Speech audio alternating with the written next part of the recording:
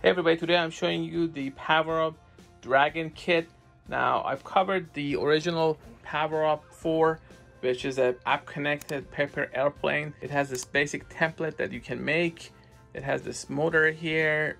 It, this part is rechargeable. Now I've been flying this for a while. You can see it's actually beat up.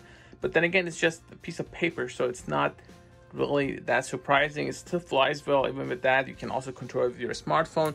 Now this is a new kit that lets you build a paper dragon that you can fly with your smartphone. It comes with this accessory kit that has the landing gear. So there's a difference. This doesn't have a landing gear. You also get the power up 4. See, it's very similar, just that you have a different set of things to attach to make this fly. Let's see what's inside. You get the paper kit to actually create your own flying dragon.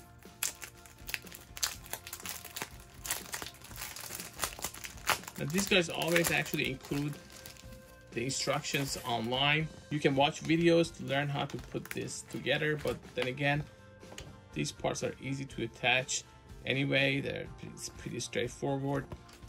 Here's another one. So I got two of them just in case I mess up one of them. Happens. Now these guys were kind enough to send me this to review. I had already reviewed the original one and they thought that this is a nice upgrade over that. So we'll see about that. Let's see what's in this.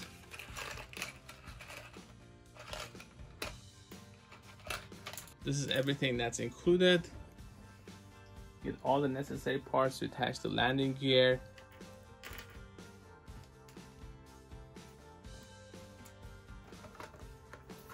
And finally you have your main unit, which is very similar to the one that I showed here. So this is the one that I have already flown in the past. It's just a similar design. It's exactly the same thing actually. It's just you have your extra rotors, you have your motor here, you have your cable and charger, and the original Invader model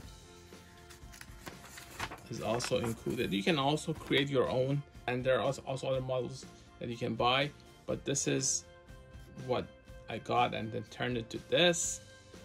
Uh, this is basic, whereas that one is just more colorful it does have a micro USB port. This is the brain of the kit. You can turn it on with this. This is not actually linked to anything yet, but once you connect it to your smartphone, you'll be able to fly it. Once you download the app, you can connect this and then fly this. Just testing this,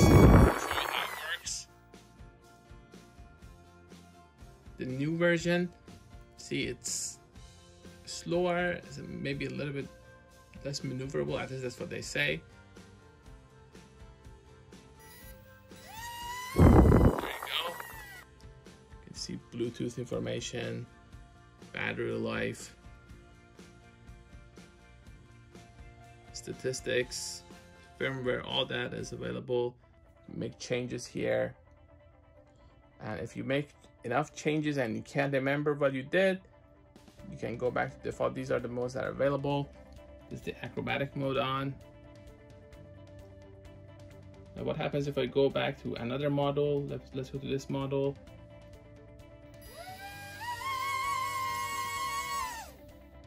There you go.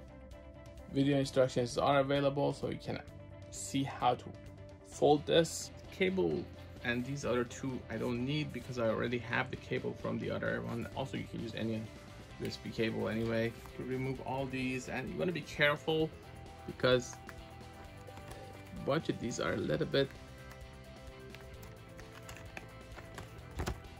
easy to tear so you don't want to rush it especially around these parts make sure that you don't tear anything damage anything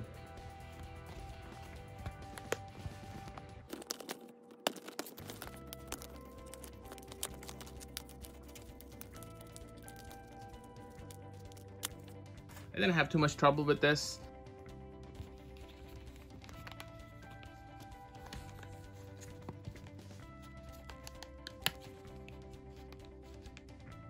Just want to be careful with these parts.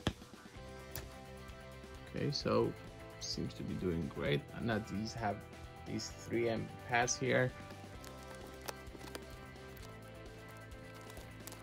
Prepare this part, you just bend these this way and this way as well. You gotta do it good so it doesn't come back up.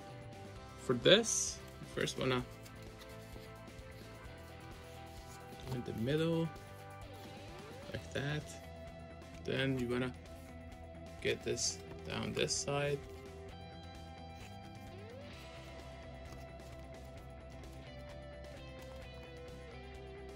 So for the legs, doing it like that. This is how your dragon should look like. You have to remove this and then put it slowly there. It says double-sided tape and you have to do it for the other side as well. So this is now assembled. I don't know, I'm, I'm never perfect, but I try to follow the instructions as close as possible. Now you're gonna assemble these two. you do the legs right here and then arms right there. Like this. And then a squeeze. You just have to attach the connectors like this and make sure they're one inch from each end.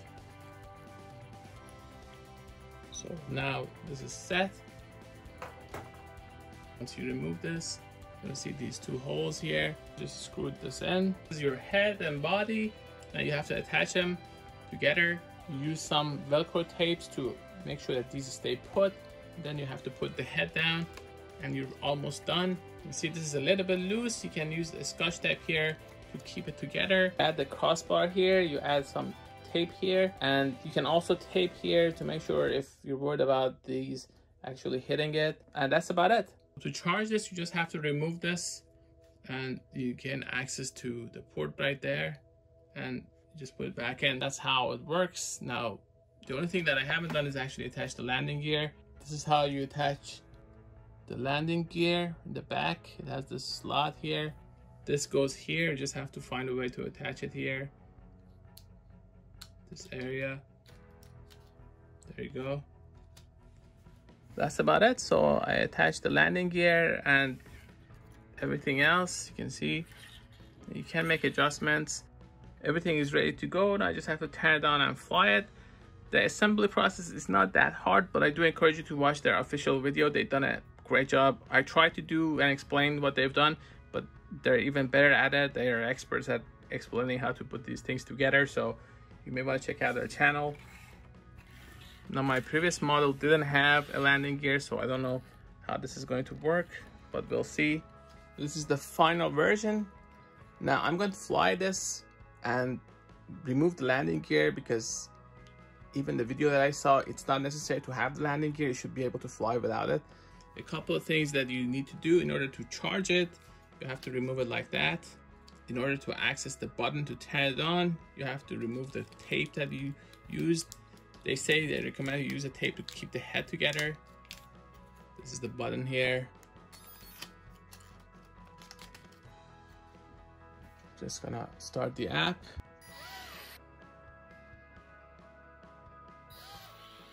And since we use the tape here, it should keep them from actually touching it. Now we'll see, then actually do the best job here with the tape. So it's sticking out a little bit, but shouldn't cause an issue. I've got tested outside. Let's see how it works.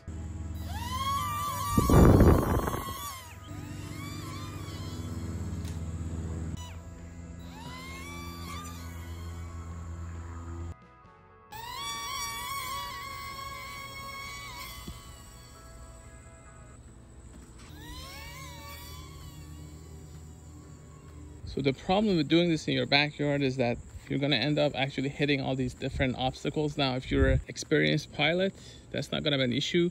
But if you're not, that's gonna be a little bit of a problem. And mine actually has already taken a lot of beating because I keep hitting these things.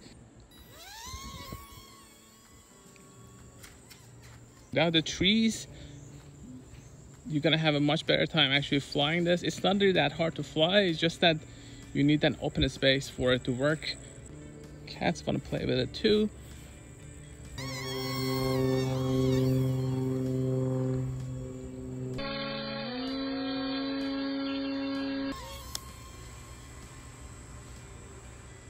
Gives me feedback when I do better. I find this a little bit more challenging than the original Power Up 4.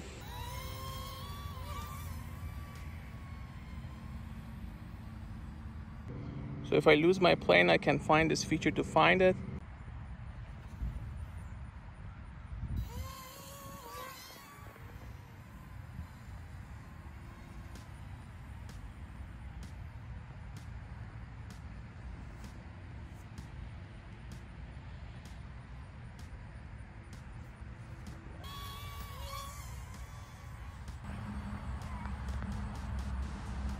That's about it. So this was the app controlled Flying Dragon Power Up 4 system, but this is the kit with landing gear, all the extra stuff.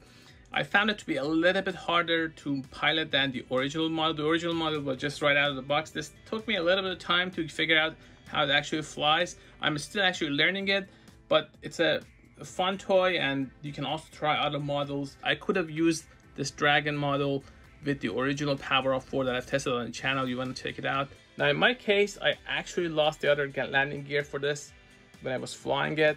I'm not a really good pilot, so I hit a bunch of stuff. That was lost. Maybe it wasn't installed correctly by me. Generally, my problem is when I actually fly this in my backyard, I just hit the trees and don't have problem landing it. It's just the actually maneuvering it in very tight spots, which takes the skill, and that's what makes this toy fun.